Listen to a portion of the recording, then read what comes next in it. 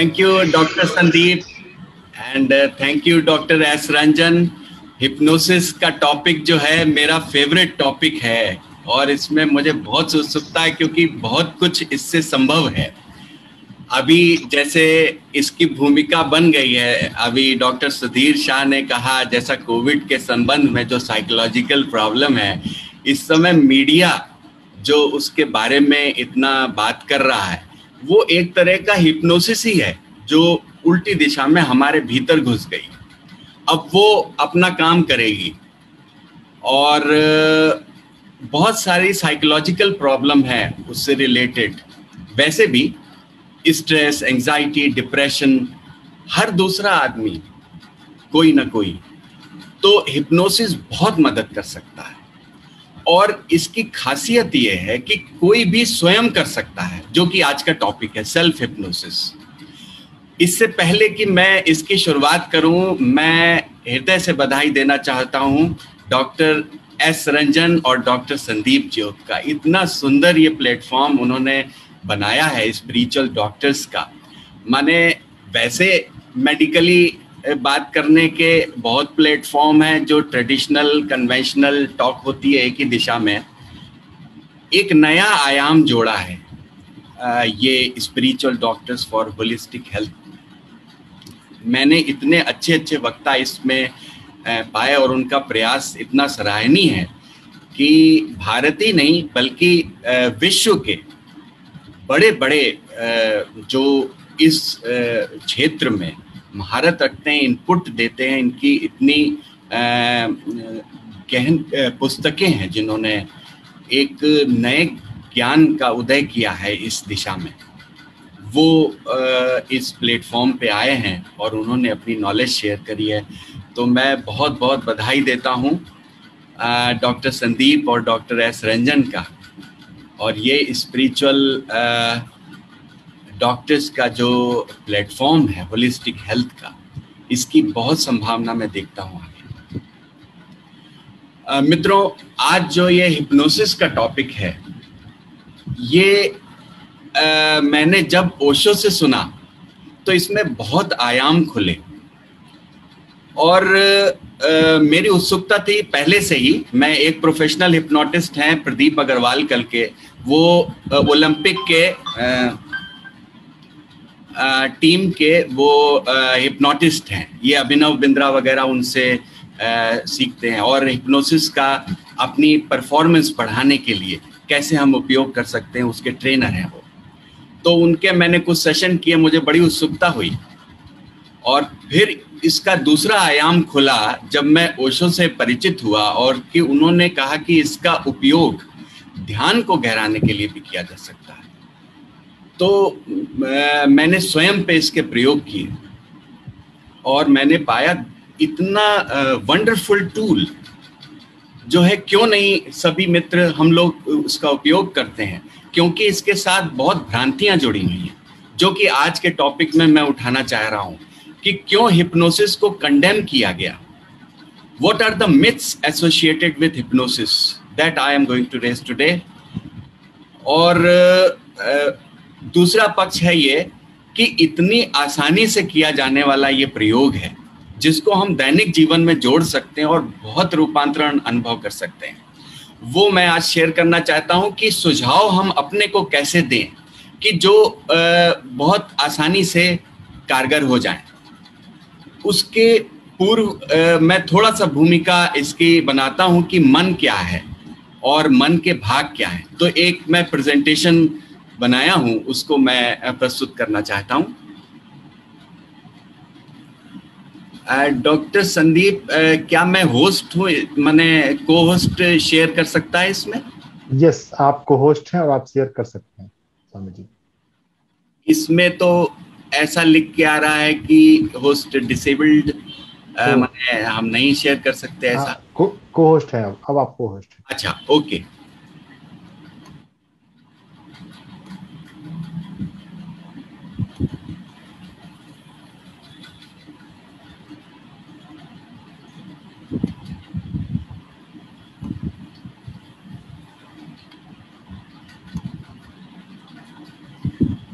जो आज ये टॉपिक है हमारा उसका मेन उद्देश्य ये है कि हम और आप कैसे ये हिप्नोसिस का उपयोग अपने ध्यान को गहराने के लिए और अपनी हेल्थ के लिए कर सके। वैसे तो इसके बहुत सारे उपयोग हैं। आप अपनी रिलेशनशिप बेटर कर सकते हैं। You can deepen your love it can help so dimensions. Uh, so, uh, but the present session is focused on how to deepen our meditation and how to get better health. तो इसके background में जाने से पहले माने ये इसकी भूमिका हम समझ लें कि मन हमारा कैसे काम करता है। तो हम बहुत आसानी से समझ पाएँगे हिप्नोसिस होता क्या है कैसे काम करता है। तो मन होता क्या है? ये जो हमारी जो ये सर है, खोपड़ी है, इसके भीतर एक ब्रेन है। आप मानते हैं ब्रेन है? अच्छा। एक बार ऐसा हुआ, पोप जो पोलैंड के पोप हैं, अभी स्वीडन में हैं, उनके बारे में जोक सुनाया ओशो ने कि एक बार वो बाथरूम में गिर गए। तो बाथरूम में गिर गए। सभी लोग चिंतित हुए कि सर में चोट लगी है, क्या हुआ? अगले दिन हेडलाइन सभी लोग ने तत्परता से खोल के देखी। तो लिखा था कि brain x-ray of Pope reveals nothing तो ऐसा तो नहीं है। समथिंग तो है। तो ब्रेन है हमारा, समझ लीजिए, एक हार्डवेयर सभी के है। और इसके अंदर मन है। यानी सॉफ्टवेयर। जो भी विचारों का योग है जो हमारी स्मृतियाँ हैं जो कल्पनाएँ हैं जो ऑब्जर्वेशन है जो थिंकिंग है जो एनालिसिस है जो रीजनिंग है वो सब कलेक्टिवली हम कहते हैं ये हमारा मन है। मन के कुछ सिद्धांत हैं। एक तो ये कि जो हम कल्पना करते हैं जो हम आ, सोचते हैं वो होने लगता है। दूसरा है कि हमारा शरीर वही पैदा करने लगता है, अभिव्यक्त करने लगता है, जो हमारा मन सोचता है, जो विश्वास करता है कि ऐसा है। एक मैं कहूँगा कि अभी प्रयोग करके देखिए तो आपको ये मेरी बात जो है, जो थ्योरेटिकल नहीं प्रैक्टिकली अनुभव में आए ये। तो मेरे साथ ऐसे प्रयोग करेंगे, ये हिप्नोसिस का प्रयोग है, इसमें आप पीछे मुड़कर देखेंगे। और वो पॉइंट नोट कर लीजिए जहाँ आप देख सकते हैं। माने पीछे का वो पॉइंट वो दीवाल का या पीछे जो भी वस्तु है कि नोट कर ले कि यहाँ तक मैं देख पा रहा हूँ। बस यहाँ तक देख पा रहा हूँ, वो पॉइंट नोट कर लीजिए। ठीक है? अब आप अपनी स्थिति में आ जाएँ और आँख बंद कर लें। आँख बंद करके अपने शरीर को अब अनुभव करें। आपका शरीर बैठा हुआ है। अनुभव करें, आपका शरीर आराम से बैठा हुआ है। अपने शरीर का अनुभव कर रहे ये शरीर बैठा हुआ है अभी, और मैं देख पा रहा हूँ। अब भीतर ही कल्पना करें दृश्य उभारें कि आप आपकी गर्दन जो है, वो लचीली हो रही है। वो एकदम लोचपूर्ण हो रही है। आप अपने गर्दन पर अपना ध्यान ले जाएँ और अनुभव करें कि ये गर्दन एकदम फ्लेक्सिबल हो गई है। ये गर्दन ऐसे हो गई है जैसे कि एक स्प्रिंग होती है।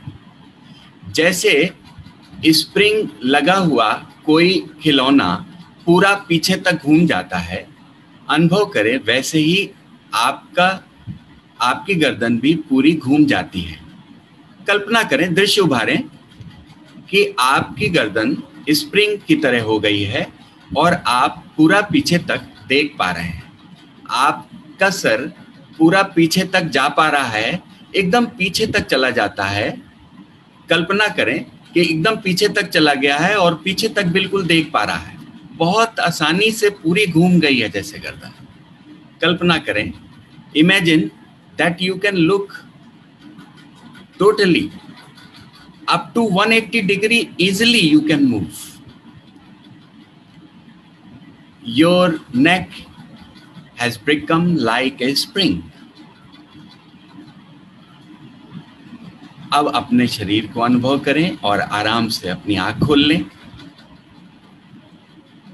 अपनी आँख को खोल लें आराम से बैठे हैं और अब देखिए कितनी आसानी से आप पीछे घूम जाते हैं। अब आप पूरा पीछे देखिए। डॉक्टर रंजन, पीछे देखिए। पूरा पीछे तक देखिए, आसानी से कितनी दूर तक देख लेते हैं। अब वो पॉइंट नोट करिए। कितनी सरलता से आप पीछे तक देख पा रहे हैं। वो पॉइंट नोट कर लीजिए। क्या ये पिछले पॉइंट से ज़्यादा है? Yes that is the beauty of this suggestions अभी हम इन सजेशंस की और बात करेंगे विस्तार से। तो ये बॉडी वही प्रोड्यूस करती है जो हमारा माइंड बिलीव करता है। अभी ब्रूस लिप्टन की आपने चर्चा सुनी, सुंदर पुस्तक उन्होंने खोज के निकाले हैं। कि प्रमाणित किया है कि what you believe it physically manifest तीसरा पॉइंट इंपॉर्टेंट है कि एवरी थॉट और emotion has a somatic reaction मुझे याद है, अभी भी वो दिन जब मैं एमबीबीएस की प्रथम कक्षा में फिजियोलॉजी की क्लास में एक हमारे प्रोफेसर आए और वो कहने लगे कि जब आप लड़ते हैं तो आपके अंदर एड्रेनालिन स्टीरोइड्स सिक्रीशन होते हैं। और जब आप लड़ नहीं रहे हैं, और बस उसकी कल्पना कर रहे हैं, बस सोच भर रहे हैं कि आपकी लड़ाई हो गई, और ऐसे लड़ाई हो रही है फलाने फलाने लड़के से तो आपके शरीर के अंदर वही हार्मोन सिक्रीट होते हैं उतनी मात्रा में जितने की एक्चुअल लड़ाई में। शरीर उसको एक ही भांति देखता है, चाहे आप उसके बारे में विचार कर रहे हो, चाहे यथार्थ में लड़ रहे हो। ये खासियत है। चौथा इंपॉर्टेंट पॉइंट है कि हर एक सुझाव जो आप लेते हैं, पहला सुझाव और आसानी से दूसरा सुझाव बनता है, दूसरा सुझाव और आसानी से फिर तीसरा सुझाव अपटेक होता है, लिया जाता है, स्वीकार किया जाता है। एक आपने प्रसिद्ध गाना सुना होगा कि आ, आ, वो कौन सा गीत है? आज सोमवार है और मौसम खुशगवार है और ऐसे ही वो कई चीज़ कहता है फिर वो प्रेमिका से कहता है तुमको मुझसे प्यार है? वो कहती है हाँ. तो वो यस यस यस करके फिर आगे यस हो जाता है। तो ऐसे ही है। हिप्नोसिस में भी जो सुझाव देते हैं सबसे पहले वो सुझाव देते हैं जो कि आप बहुत आसानी से स्वीकार कर लें। जिसमें यस हो ही हो। फिर उसके बाद अगला स्टेप जैसे कि शरीर है तो शरीर आप मेरा हाथ है तो शरीर मेरी आ, मतलब हाथ आज्ञा तुरंत मान लेगा कि ये आराम से इसको नीचे रख ले। लेकिन अगर मैं सीधे मन से कहूँ कि मन तुम चुप हो जाओ तो ये नहीं मानेगा मन चलेगा। तो मन थोड़ा दूर है हम इसमें शुरू करते हैं जो कि सबसे आसानी से हमारा कहना सुझाव मान ले, शरीर से, और शरीर भी सबसे दूर, पैरों से। तो अभी अगर समय मिला तो प्रयोग भी करेंगे इसका। तो मैं ऐसे ही सुझाव देता हूँ, और आप भी ऐसे ही देंगे। ये सेल्फ हिप्नोसिस का ये सेशन है, और point of this session is to make you confident to do it yourself अब पार्ट्स ऑफ़ द माइंड की बात करें, अब हमें हिप्नोसिस समझना बहुत आसान हो जाता है कि होता क्या है ये। मन है जो हमारा सारी विचारों, स्मृतियों, कल्पनाओं का योग, जैसे समझ लीजिए ये डब्बा है। इसका पाया गया है कि अधिक हिस्सा हमारे अनजान है मतलब अनकॉन्शियस है हम, और थोड़ा ही हिस्सा है जो हम जानते हैं अपना मन। जैसे कि अभी ये सेमिनार चल रहा है। मुझे अभी याद है कि एक बज के पचास मिनट पर हमारा ये सत्र प्रारंभ हुआ। अगर आप मुझसे पूछेंगे कि सन 2020 में ये जो 23 तारीख को आप एक बज के पचास मिनट पे क्या कर रहे थे? तो मैं नहीं बता पाऊँगा। एक बज के पचास मिनट में मैं क्या कर रहा था? वो अगर हिप्नोसिस में ले जाया जाए तो वो मैं बताने लगूँगा कि एक बज के पचास मिनट पे मैंने लंच किया था। और लंच किया था, दाल खाई थी और दाल में नमक कम था। ऐसे बता लूँगा जैसे अभी हो रहा है। तो वो हमारे मन में भीतर बैठ जाता है, जिसको कहें हम अचेतन मन में चला जाता है। तो मन के ये खंड है एक कॉन्शियस माइंड है जो कि अब पाया गया है प्रयोगों से कि 10 प्रतिशत ही है मन का हिस्सा। 90 प्रतिशत, जैसे कहें टिप ऑफ़ द आइसबर्ग है। और अधिक हिस्सा 90 प्रतिशत हमारा अचेतन मन है। सब कॉन्शियस माइंड या अनकॉन्शियस माइंड है। अनकॉन्शियस माइंड में अगर हम कोई सुझाव ले जाएँ तो इस प्रक्रिया को कहते हैं हिप्नोसिस हमारे कोई भी चीज़ मन में है अभी और अगर मैं अभी मन में सोचूं कि मैं स्मोकिंग करता हूँ, मैं स्मोकिंग छोड़ दूँगा। तो एक दिन तो मैं रोके रहूँगा अपने को। दो दिन हो सकता है रोके रहूँ, लेकिन फिर उसके बाद I will jump over the cigarette packet and will smoke start smoking क्यों? क्योंकि वो अधिक हिस्सा जो है, हमारे मन का राज़ी नहीं है। तो वो हिप्नोसिस के द्वारा परसू किया जा सकता है। राज़ी नहीं है क्योंकि वो 90 प्रतिशत से अधिक है। इसलिए वो ज़्यादा स्ट्रॉन्ग है। वो हमारी बात नहीं सुन पाता क्योंकि 10 प्रतिशत का कोई ज़ोर नहीं है उसके आगे। तो हम कोई भी चीज़ सोचते हैं वो कर नहीं पाते। हम सोचते हैं कि हम आ, पीते हैं दारू अब छोड़ देंगे कल से। नहीं छोड़ पाते। हमारी कोई आदत है और आदत हमारी मुक्त नहीं हो पाते, क्योंकि वो आदतें सबकॉन्शियस माइंड में ये कोई ऐसी तिलिस्मी चीज़ नहीं है सबकॉन्शियस माइंड आप जानते हैं अपना, कि आप जैसे ड्राइव करके आते हैं। जैसे आप अपने ऑफ़िस से घर आते हैं ड्राइव करके। तो आप सोचते कहीं और हैं, मान लीजिए आप रास्ता तो नहीं हमेशा सोच रहे कि आपको दाएँ मुड़ना है कि बाएँ मुड़ना है। आप भले ही कुछ और सोच रहे हो, आप ड्राइव करते हुए सीधे अपने घर आ जाते हैं। ये आपका सबकॉन्शियस माइंड है, जिस पे रजिस्टर्ड है ये सब। जो आदतें हैं हमारी ऑटोमेटिक प्रोग्रामिंग है, वो सब सबकॉन्शियस माइंड करता है। तो जो भी आदत बदलनी है, आप आराम से हिप्नोसिस के द्वारा कर सकते हैं। सीधा सुझाव हिप्नोसिस में नहीं जाता। और क्योंकि एक बैरियर है इसमें लॉजिक का एनालिसिस का। ये हिप्नोटिस्ट ने अपने प्रयोगों से पाया है कि ये एक लेयर है जो हम बड़े होते जाते हैं तो ये एक बैरियर बनती जाती है। तो ये हिप्नोसिस के द्वारा संभव है। और दूसरी चीज़ है रिपीटिशन अगर कोई चीज़ बार बार दोहराई जाए तो वो भी हमारे अचेतन में रजिस्टर हो जाती है। जैसे कि डॉक्टर रंजन आपको सभी लोग इस नाम से पुकारते हैं। हम्म, बचपन से ही आपको इस नाम से पुकारा है सबने। तो आप मान लीजिए सब लोग सो रहे हो हम सभी लोग 300 मित्र हैं यहाँ पर और मैं अगर कहूँ डॉक्टर रंजन तो आप ही उठेंगे क्योंकि वो आपके अचेतन में है। आप जब सो भी जाते हैं तो भी अवचेतन मन।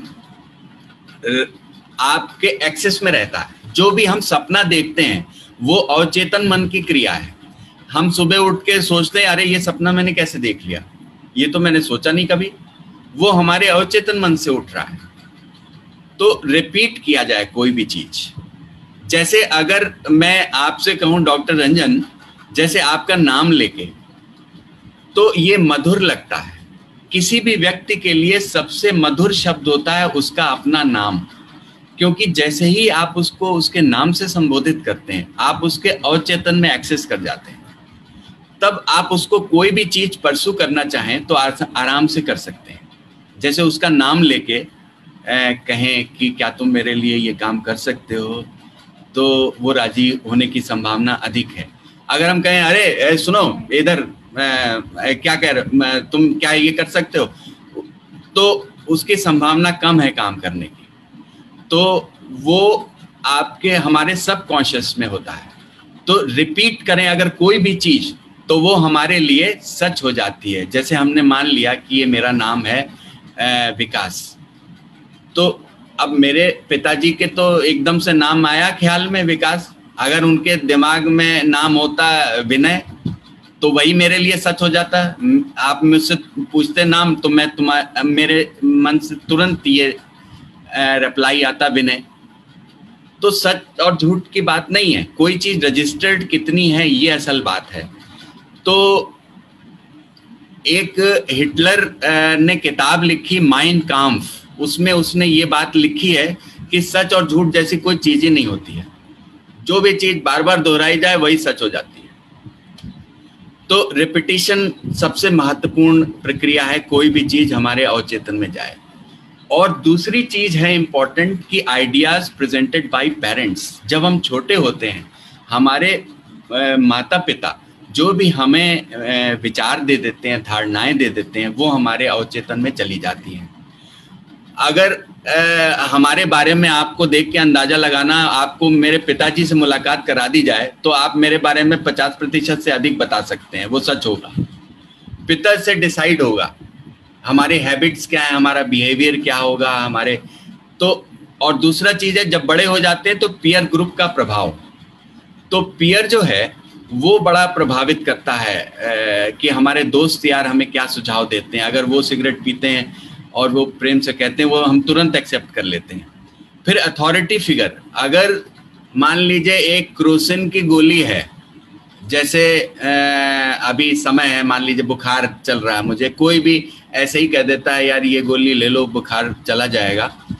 तो मान लीजिए, दो डिग्री बुखार कम होता है। अगर कोई कोविड स्पेशलिस्ट वही दवाई लिख दे, और पूरी अथॉरिटी है जो इसमें तो वो मेरा तुरंत गहरा प्रभाव करेगी। तो अथॉरिटी फिगर का ज़्यादा इन्फ्लुएंस होता है हमारे सबकॉन्शियस पे। प्लेसिबो ऐसे ही काम करती हैं। फिर एक, है कि इंटेंस इमोशन की स्टेट में, जैसे कोई भी अचानक कोई घटना घटे और कोई उस समय सुझाव दे दिया जाए तो वो हमारे रजिस्टर हो जाता है सबकॉन्शियस पे जल्दी। तो ये प्रक्रियाएँ हैं जो कि हमारे अचेतन में रजिस्टर हो जाती हैं। अब फिर जो हमारा सबकॉन्शियस माइंड है, उसके भी नीचे गहरा तल है कलेक्टिव अनकॉन्शियस का। ये है समूह का अवचेतन। सबकॉन्शियस माइंड है मेरा अचेतन और कलेक्टिव अनकॉन्शियस है समूह का, पूरी जाति का अवचेतन। जैसे कि डिलीवरी के समय पेन होता है तो ये समूह का अवचेतन है। माने सभी मानते हैं कि ये पूरी जाति में कि ये हमें होता है डिलीवरी के समय पेन अमेजोन में कबीला है एक। तो वहाँ जब बाहरी व्यक्तियों से कोई संपर्क नहीं रहा, जब एक पश्चिम से व्यक्ति वहाँ गया तो उसने बड़ी हैरत में पड़ गया। वो उसने एक चीज़ देखी, जबकि जब डिलीवरी होती है तो पति को दर्द हो रहा है। पत्नी को तो बहुत सहजता से प्रसव हो रहा है और पत्नी, पति जो है, पीड़ा प्रसव, पीड़ा में उसका करा रहा है और उसके अलग कमरे में जो है, उसकी आते भी सिकुड़ रही हैं। और उसको जो भी उपाय किए जाते हैं, वो उपाय किए जा रहे हैं। तो ये उसकी जात, उन जाति की धारणा है कि पति को दर्द होता है तो उसको होता है। तो ये एक कलेक्टिव अनकॉन्शियस है हमारा, कि हमारी, मान लीजिए उम्र है तो जो हमारी इस जाति की जो हमारी धारणा है कि हम 80 साल जिएँगे या 90 साल जिएँगे तो हम उतना ही जीते हैं, हमारा प्रोग्राम हो जाता है उसी हिसाब से। तो ऐसा एक बर्टन रसल था इंग्लैंड में, उसने देखा कि रशिया में साइबेरिया में लोग जो है बहुत ज़्यादा जीते हैं। गया वहाँ पर जब वो 80 साल का हो गया, रिटायर हो गया, वो वहाँ गया।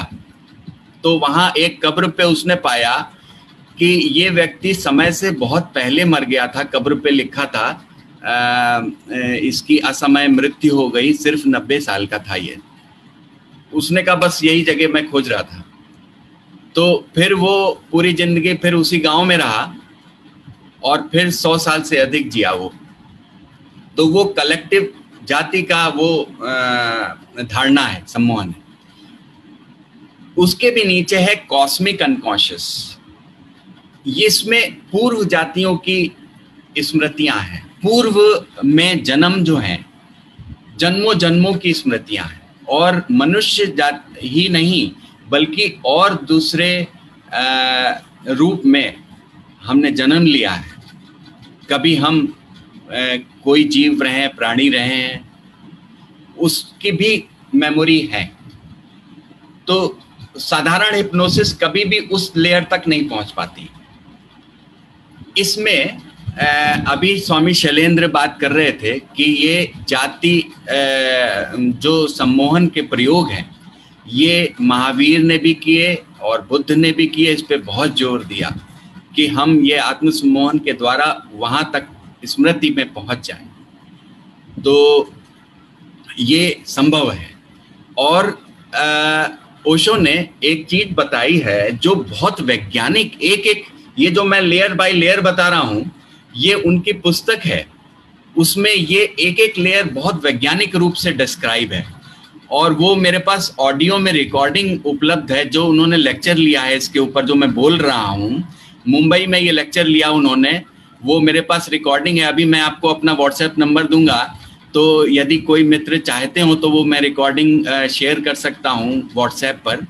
तो वो अद्भुत प्रवचन है, जिसमें वो बताते हैं कि कॉस्मिक अनकॉन्शियस तो है ये तो ज़मीन के नीचे जाना, हम नीचे जा रहे हैं।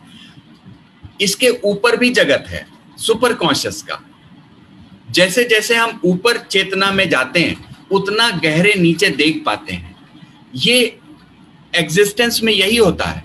कोई भी वृक्ष है जैसे, जितना भी उसके जड़ें नीचे गहराई में जाएँगी, उतना ही उसका तना ऊपर आकाश में उठेगा, उतना ही उसकी ब्रांचेस फैलेंगी जितनी उसके नीचे। तो ये संतुलन है, जितनी रात्रि घनी होगी तो प्रकाशित सुबह होगी।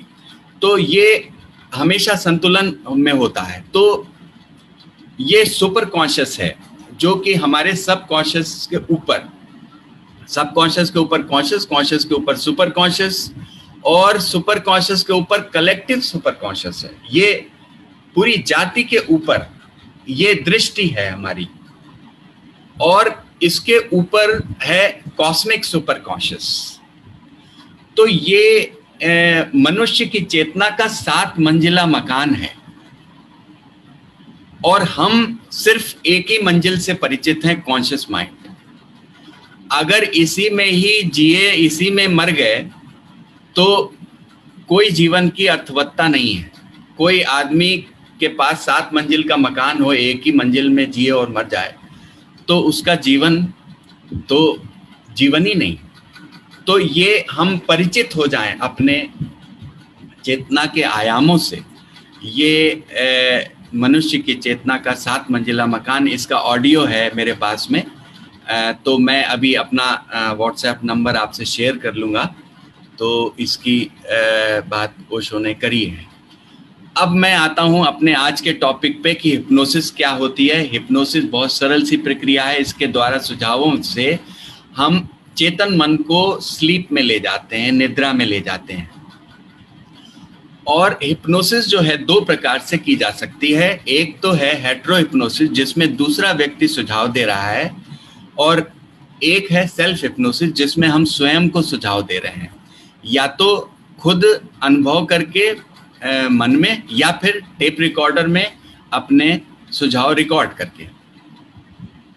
सारी हिप्नोसिस मूलतः सेल्फ हिप्नोसिस होती है, क्योंकि दूसरा भी सुझाव दे रहा है तो हम जब सुझाव को लेंगे, तभी वो काम करेगी। तैतीस प्रतिशत लोग हैं जो आसानी से हिप्नोसिस में चले जाते हैं। चाहे वो इंडियंस हो, चाहे वो अमेरिकन हो, चाहे वो जर्मन हो, तैतीस प्रतिशत ही लोग हैं जो कल्पनाशील होते हैं जो इमेजिन कर सकते हैं, जो भावनात्मक रूप से विकसित जो जिनमें ये फैकल्टी है। मैं ये नहीं कह रहा हूँ बाकी 67 परसेंट जो है उनमें कोई कमी है, नहीं। उनमें दूसरी फैकल्टी विकसित होती है लॉजिक की एनालिसिस की तो उसमें वो एक कॉन्शियस और सब कॉन्शियस के बीच में बैरियर ज़्यादा है। तो इस वजह से इजिली ट्रांसमिट नहीं होता। ओशो ने इसमें थेरेपीज बताई जिनके द्वारा व्यक्ति सरल सहज और सरल हो जाता है। तो वो बैरियर वो जो है उसको रास्ता मिलता है। तो सुझाव, आदमी इनोसेंट होता है तो सुझाव उसमें सरलता से नीचे जा सकते हैं। तो थेरेपीज के द्वारा जो ओशो ने दी, पूरे सौ प्रतिशत लोग भी हिप्नोसिस में जा सकते हैं। जो हिप्नोसिस है, इसके बहुत सारे उपयोग हैं। जैसे फ़िज़िकल में तो है ही है। अभी बात हो रही थी कि बहुत सारी मन की हमारी जो बीमारियाँ शरीर में अभिव्यक्त होती हैं, मन मन से उपजती हैं और शरीर में अभिव्यक्त होती हैं। मन की तो हैं ही बीमारियाँ। तो ये सब आसानी से हिप्नोसिस के द्वारा ठीक हो सकती हैं। और दूसरा है कि हम अपने ध्यान साधना में भी इसका बहुत सृजनात्मक रूप से इसका प्रयोग कर सकते हैं। तो आज जो हम लोग अभी समय मिला तो प्रयोग करेंगे कि अपने ध्यान को कैसे गहरा दें इस। और बेटर हेल्थ के लिए। अब मैं ये आता हूँ कि मिथ क्या है? इसके बारे में क्यों हिप्नोसिस कंडेम हुई? क्योंकि ये भ्रांतियाँ हैं इससे जुड़ी हुई। कि इसमें तो एक कोई व्यक्ति चाहिए होता है जो हिप्नोटाइज करता है। कोई डोमिनेंट आदमी चाहिए जो हमें हिप्नोटाइज मुझसे लोग कहते हैं कि क्या आप हिप्नोटाइज कर सकते हैं? मुझे करिए। तो ऐसा लगता है कि कोई मुझमें ऐसी शक्ति है कि जिसके द्वारा करूँगा। असल बात यह है कि शक्ति आपके भीतर है। क्वालिटी आपके भीतर है कि जिससे आप सुझाव को ले सकते हैं। वीक माइंडेडनेस ऐसा भ्रांति है कि जिनका मन जो है कमज़ोर होता है, उनको हिप्नोसिस में ले जाया जा सकता है। ये बिल्कुल गलत धारणा है। असल बात तो ये है कि माइंड अगर किसी का वाकई में वीक हो, अगर इडियट हो कोई तो उसको कभी हिप्नोसिस में नहीं ले जाया जा सकता। An idiot can never be hypnotised और क्योंकि वो समझ ही नहीं पाएगा कि आप कह क्या रहे हैं, हमसे अपेक्षा क्या की जा रही है। और जितना इंटेलिजेंट होगा, जितना सेंसिटिव होगा, उसको उतनी आसानी से हिप्नोसिस में ले जाया जा सकता है। तीसरी भ्रांति है कि कोई हमारी इच्छा के विरोध में हमें विरुद्ध हिप्नोसिस में ले जाएगा।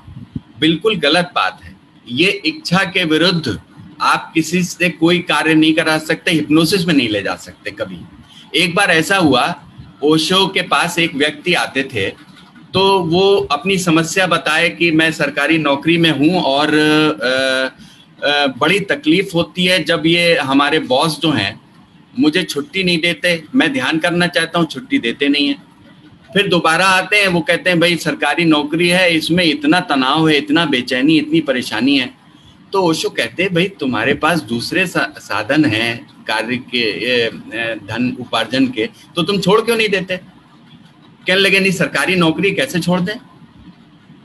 फिर दोबारा आए, फिर कहने लगे कि, ये नौकरी ने तो इतना परेशान कर रखा है मुझे, मैं पागल हो गया हूँ एकदम नौकरी से। तो ओशो ने उनको हिप्नोसिस में ले जाके, हिप्नोसिस में ले गए उनको, ओशो को। ओशो उनकी हेल्प करना चाहते कि जब वो पूरी हिप्नोसिस में चले गए, उसका टेस्ट होता है कि व्यक्ति को अगर आप प्रिक करें तो कोई संवेदना नहीं होती है। वो आपके बस सुझावों से जुड़ा हुआ है। तो वो पूरी तरह से हिप्नोसिस में चले गए तो ओशो ने उनको फिर सुझाव दिया कि अब तुम अपनी नौकरी छोड़ रहे हो। वो एकदम से हिप्नोसिस से बाहर आ गए। कहने लगे, मैं सरकारी नौकरी नहीं छोड़ सकता। तो ये किसी के अगेंस्ट द विल नहीं हो सकता। चाहे हिप्नोसिस में चला गया। चौथी पॉइंट है कि सरेंडर ऑफ़ विल इसमें तो मैं जो है, अपनी इच्छा शक्ति मेरी चली गई। ये बिल्कुल गलत है। आप अपने मालिक रहते हैं, आप होश में रहते हैं। अभी आप ये प्रक्रिया करेंगे तो आपको खुद अनुभव होगा कि you are aware in the process loss of consciousness ये भी भ्रांति है कि मैं बेहोश हो जाऊँगा। बिल्कुल आप सहजता से इसमें जाते हैं और सहजता से वापस आ जाते हैं। इसमें कहीं कोई लॉस ऑफ़ कॉन्शियसनेस नहीं है। स्लीप ज़रूर है, लेकिन लॉस ऑफ़ कॉन्शियसनेस नहीं है। रिविलेशन ऑफ़ सीक्रेट्स कि इससे तो हमें कोई भी गोपनीय चीज़, कोई हमारी राज पता कर लेगा मेरे। तो ये ऐसा नहीं है। आप अपने होश के एक दिया जलता रहता है। आप प्रक्रिया में चले जाते हैं, तब भी कहीं आपके भीतर एक होश बना रहता है। तो ये संभव नहीं है। स्त्रियों को इसलिए जो है हिप्नोसिस में ले जाना पुरुषों की अपेक्षा मुश्किल होती है क्योंकि उनके अंदर एक भय रहता है। और एक ये है मिथ की fear of not being dehypnotize कि हमें हिप्नोसिस से बाहर कैसे आऊँगा। तो ये मिथ है। और बिल्कुल भ्रांत है। डॉक्टर विकास? जी।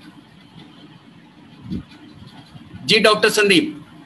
सर का सुनने को तो हमारा इतना मन कर रहा है हम चाहते हैं हिप्नोसिस के ऊपर आप हमें एक प्रयोग भी कराएँ एक्सपेरिमेंट भी कराएँ लेकिन आ, हमारे पास कितना मिनट है हमारे पास में?